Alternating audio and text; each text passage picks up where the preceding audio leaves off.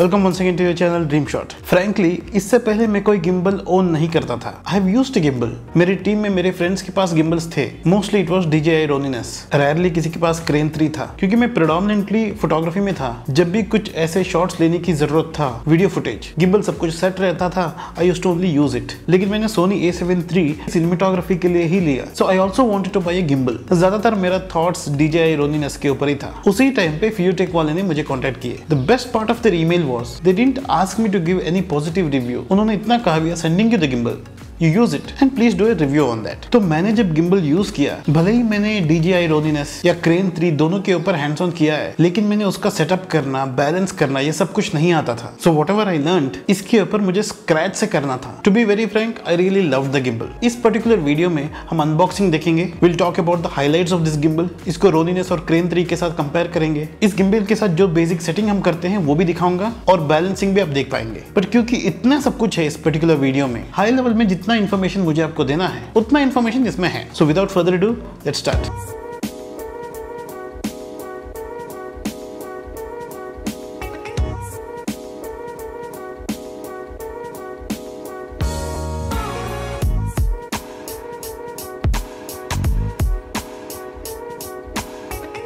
gimbal time पे आ गया था and I was very excited ऐसा लग रहा था कि स्नाइपर राइफल या फिर मशीन गन को डिसमेंटल करके एक बॉक्स में रखा गया है। एक्चुअली एकदम से ब्लैंक हो गया था। धीरे धीरे मैनुअल पढ़ के यूट्यूब वीडियोस देख के I set it up gimbal का जो मूवमेंट्स होता है, वो हम अलग अलग तरीके से कंट्रोल कर सकते हैं इस गिम्बल में। इसमें टच स्क्रीन है विद जॉयस्टिक जिस तरीके का मूवमेंट्स हमें चाहिए, उस हिसाब से हम सेट करके जॉयस्टिक के थ्रू हम मूवमेंट कर सकते हैं। ये हो गया एक ऑप्शन हम मोबाइल को इसके साथ कनेक्ट करके वही मूवमेंट्स मोबाइल से कर सकते हैं। इसके साथ एक रिमोट आता है। उसको ब्लूटूथ के साथ कनेक्ट करके वही मूवमेंट्स कर सकते हैं। उसको हाइपरलिंक रिमोट बोलते हैं। उसको छोड़ के यहाँ पे एक व्हील भी है। उसको भी यूज़ करके हम मूवमेंट्स कर सकते हैं। मतलब जो गिम्बल्स का मूवमेंट्स है, हम चार अलग तरीके से कर सकते हैं। विच एवर सूट्स यू अगर हमें कोई लैंडस्केप का फुटेज चाहिए तो हम एक ट्राईपोर्ड की तरह इसको दूर रख के रिमोट कंट्रोल या मोबाइल यूज़ करके हम मूवमेंट्स कर सकते हैं। अगर गिम्बल हाथ में है तो ऑब्वियसली जॉयस्टिक या व्हील थोड़ा सा ईजी लगता है। इतना सारा ऑप्शन मैंने कोई और गिम्बल में नहीं देखा था। एक्चुअली हाइपर लिंक रिमोट काफ़ी अच्छा है, लेकिन मैंने जो भी शूट्स किया है, वो ब्लूटूथ से कनेक्ट करना, दूर से उसको कंट्रोल करना, इन सब के लिए पेशेंस नहीं था। सो मैंने सिर्फ़ टेस्ट किया है वर्क परफेक्टली फाइन बट मैंने ऑन लोकेशन उसको यूज़ नहीं किया है। और टच स्क्रीन जो है, वो काफ़ी इजी है। मतलब मेन जो आपका मूवमेंट्स है, वो टेक्स्ट में लिखा नहीं गया है। मूवमेंट्स का सिंबल रहता है वहाँ पे, जो देखने में बहुत इजी है। और हम आराम से उसको टच करके मूवमेंट्स चेंज कर सकते हैं। इसका one of the attractive feature है लॉकिंग सिस्टम जो एक्चुअली क्रेन थ्री में भी है। हर एक एक्सिस को हम लोग लॉक कर सकते हैं। उसका एक दो एडवांटेजेस है। जब हम इसको बैलेंस करते हैं, हम एक पर्टिकुलर एक्सिस को कॉन्सेंट्रेट करके उसको बैलेंस करके उसके बाद दूसरे एक्सिस पे जा सकते हैं। जो एक्सिस हम बैलेंस कर रहे हैं, उसको छोड़ के बाकी सारे एक्सिस फिक्स्ड रहेगा because we have locked it तो वो एक एडवांटेज है। उसको छोड़ के जब हम उसको पैक करके कैरी कर रहे हैं, और जैसे हम उठा रहे हैं, उसको रख रहे हैं, वो लॉक से फिक्स्ड है। तो वो अच्छा रहता है। इसका एक और खासियत है। ऑलमोस्ट सारे पार्ट हम डिसमेंटल कर सकते हैं। यहाँ से यहाँ एक पार्ट है। यहाँ से यहाँ एक और पार्ट है। ये उसका तीसरा पार्ट है। ये सब कुछ आप डिसमेंटल कर सकते हैं। लेके जाने के लिए बहुत ईजी हो जाता है। इसका एक मैनुअल फॉलो फोकस का एक ऑप्शन है। अगर आप मैनुअली फोकस कर रहे हो तो हो सकता है कि आपको एक एडवांटेज लगे। बट फ्रेंकली मैंने कभी मैनुअल फोकस यूज़ नहीं किया और करने का इरादा भी नहीं किया। सिर्फ़ वो ठीक से काम कर रहा है या नहीं कर रहा है, ये देखने के लिए मैंने अपने दोस्तों के साथ मिलकर एक बार वो टेस्ट किया एंड इट वर्क फाइन इसका एक मेरा फेवरेट बटन है। यहाँ पे जो राइट साइड में डबल क्लिक है।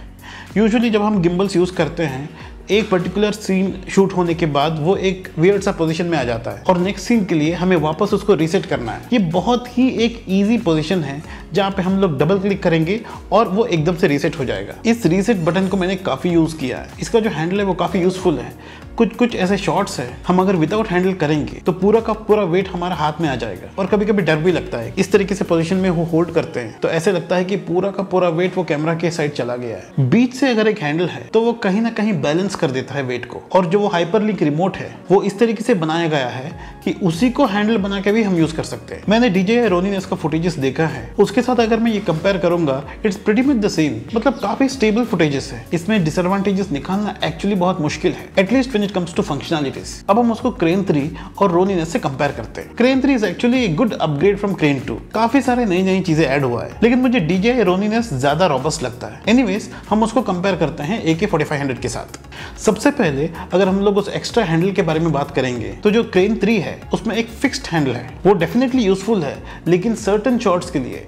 मतलब आप जब लो एंगल शॉट्स लेते हैं, उसके बाद 360 टर्न करते हो, और फिर जब आप काम नहीं करते हो, उसको लेके घूमना है, ऐसे ऐसे सिचुएशन के लिए हैंडल जो है, वो बहुत यूजफुल है। लेकिन अगर वो फिक्स्ड हो जाता है, जैसे कि क्रेन थ्री में है, वो कुछ कुछ सिचुएशन में थोड़ा सा हिंड्रेंस बन जाता है। काफ़ी सारे जो नॉर्मल शॉट्स है, हमें हैंडल की ज़रूरत नहीं है। हमें अच्छा लगता है जब हम रेगुलरली जैसे पकड़ते हैं, वैसे ही पकड़ के उसको शूट करें। हर तरीके का सोल्यूशन जो है, वो ए के फोर्टी है। बिकॉज़ यहाँ पे हम लोग हैंडल डिटैच कर सकते हैं। लो एंगल शॉट्स के लिए, अगर उसको लेके कहीं जाना है 360 डिग्री टर्न्स के लिए, ऐसे स्पेसिफिक थिंग्स के लिए हम लोग उस हैंडल को अटैच करके यूज़ कर सकते हैं। और जो हम रेगुलर फुटेजेस जो हम शूट करते हैं, उसके लिए हम लोग हैंडल निकाल देंगे। दोनों का एडवांटेजेस लेके ए के फोर्टी का हैंडल है। अगर हम पेलोड की बात करें तो क्रेन थ्री का पेलोड 4.5 पॉइंट है और रोनिनस का पेलोड 3.6 है और फाइव टेक का ए के फोर्टी का पेलोड 4.6 है। अगर हम लोग बैटरी कैपेसिटी के बारे में बात करेंगे तो क्रेन थ्री का अराउंड सेवन आवर्स है। रोनिन इसका अराउंड ट्वेल्व आवर्स है। इसका भी ट्वेल्व आवर्स है। इसका मतलब इसका बैटरी भी काफ़ी पावरफुल है। रोनिनस और क्रेन में टच स्क्रीन नहीं है, इसमें है और काफ़ी इजी टच स्क्रीन है। बहुत अच्छे से काम भी करता है। अटकता नहीं है कहीं पे भी। बिल्ड क्वालिटी जो है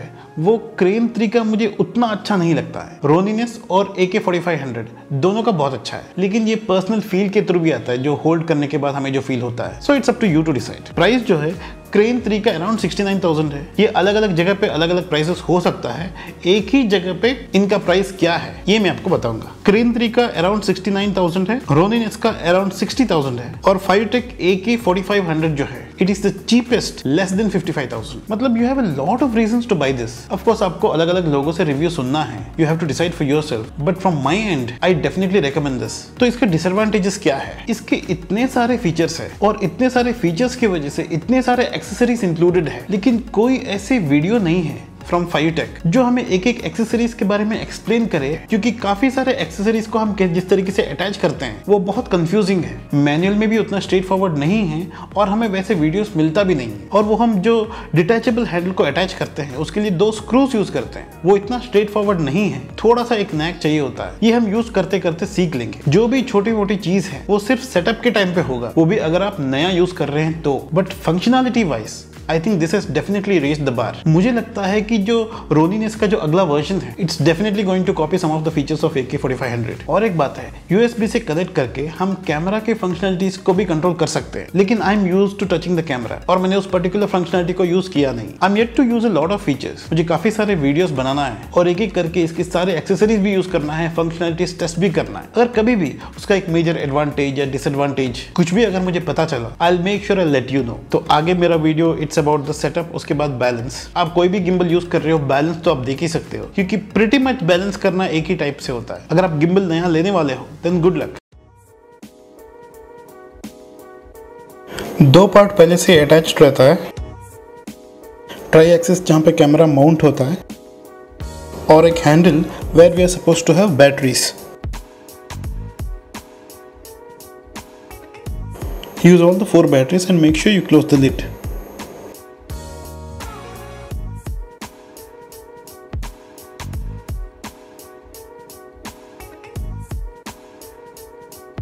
ये जो पार्ट है, ये ट्राईपॉड भी है और एक हैंडल भी है।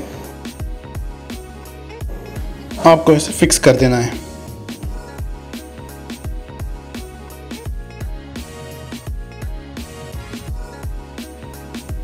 इस तरीके से हम इसको ट्राईपॉड की तरह यूज़ कर सकते हैं। ये माउंटिंग प्लेट्स है so one we are attaching it to the camera and we are fixing it to the main plate जो गिम्बल के ऊपर जाएगा।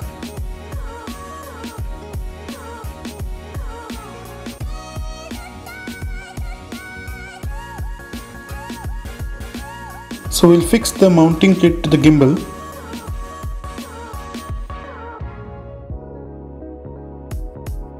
सारे एक्सेस लॉक कर देंगे।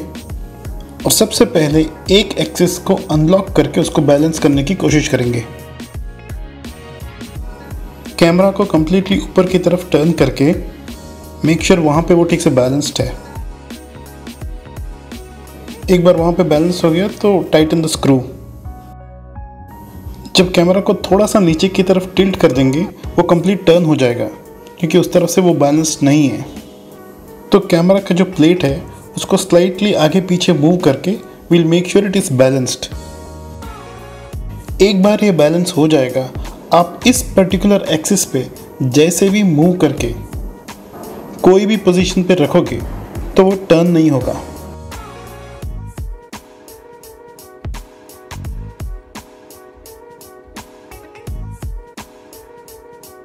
Now will go to the next axis अब ये इस तरफ़ से घूम जा रहा है। Now even this axis is fixed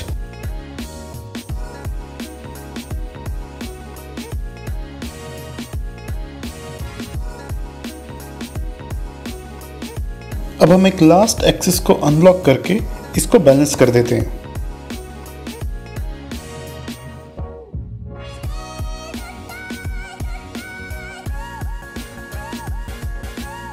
Now it is nicely balanced.